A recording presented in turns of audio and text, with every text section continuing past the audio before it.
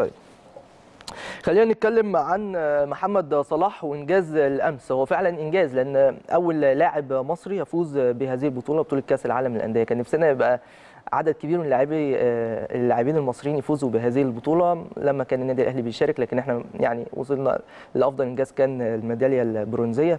لكن إن شاء الله بإذن الله بإذن الله ليه لأ؟ هيقدر النادي الأهلي يفوز بهذه البطولة.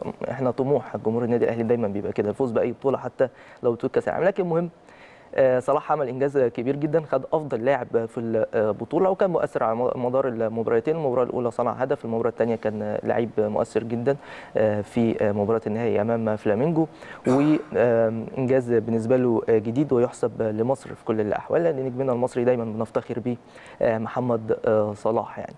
فشيء جيد ومهم نتمنى له الاستمرارية في الحقيقة لأن دايما دايما الواحد بيبقى فرحان قوي وبيبقى متحيزين جدا ليفربول حتى لو بعضنا ما كانش بيشجع ليفربول من زمان ابتدينا نشجع أكتر لما صلاح بقى موجود.